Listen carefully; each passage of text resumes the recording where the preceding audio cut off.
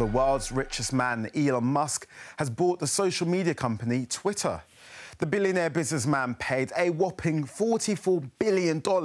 That's around 38 billion pounds. It has also been reported that Mr. Musk has fired a number of top people in the company since buying it.